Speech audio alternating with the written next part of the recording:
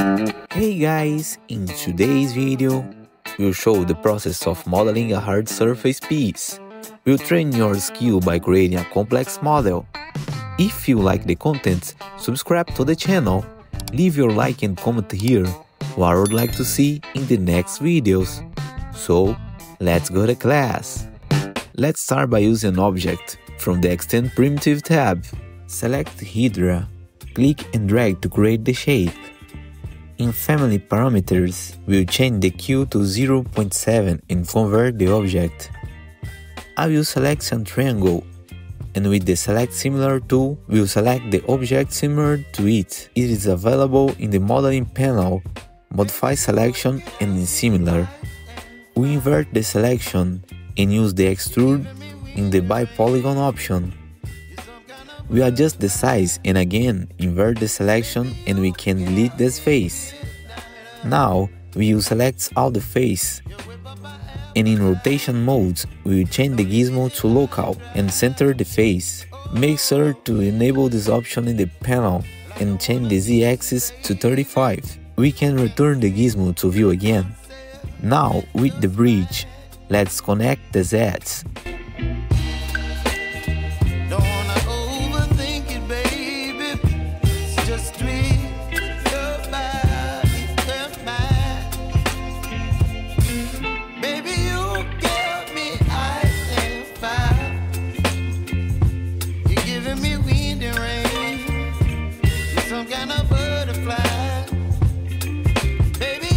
Once that is done, add an Open Subdivide modifier, the Spherify modifier, and again the Open Subdivide modifier. Here, we add an Edit Poly and adjust some vertices. We use the add constraint to adjust the vertices.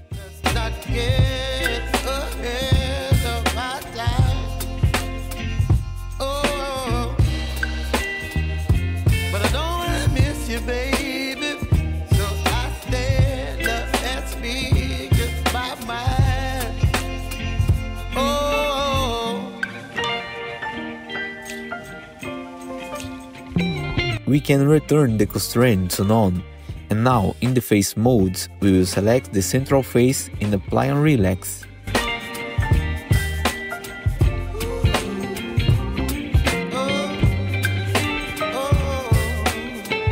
I will use the value of 100 in iterations. Let's add a thickness to this part with the shell. And again add an edit poly. We'll select the face of the ads.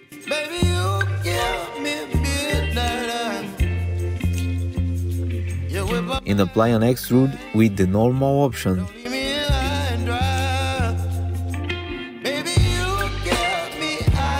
We remove these lines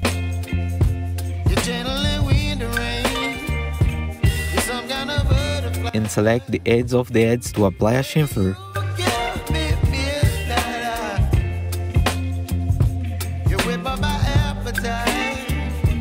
With the ads still selected, we'll select some more ads to apply a new chamfer to keep in the edge hard.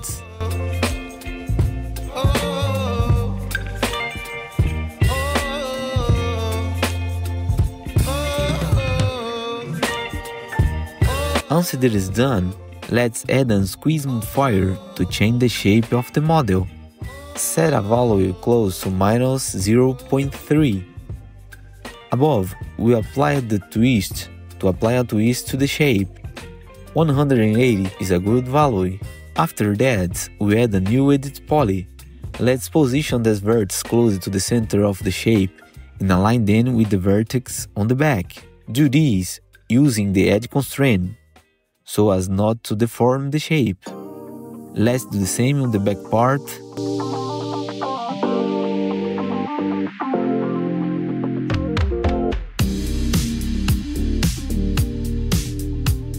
And also on the other side of the piece.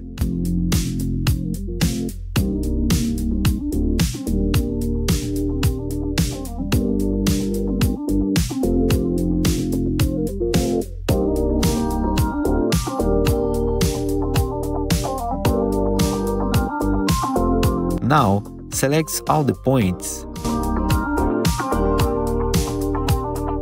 we can remove the constraints and apply on chamfer to these vertices.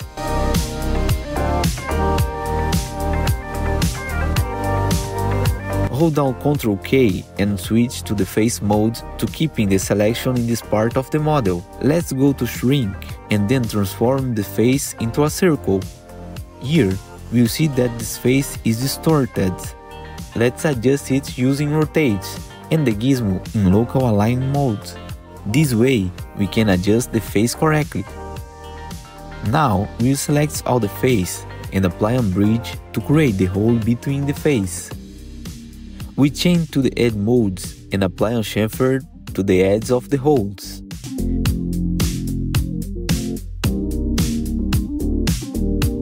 Finally, we will add the open subdivide modifier. I will make just one more adjustment to this part, adjusting the curvature of the model correctly.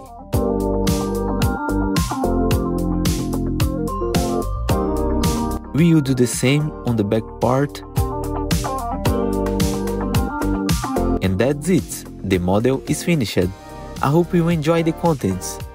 Here are some video suggestions for you to continue on the channel. Bye! Subscribe to the channel, it's very important.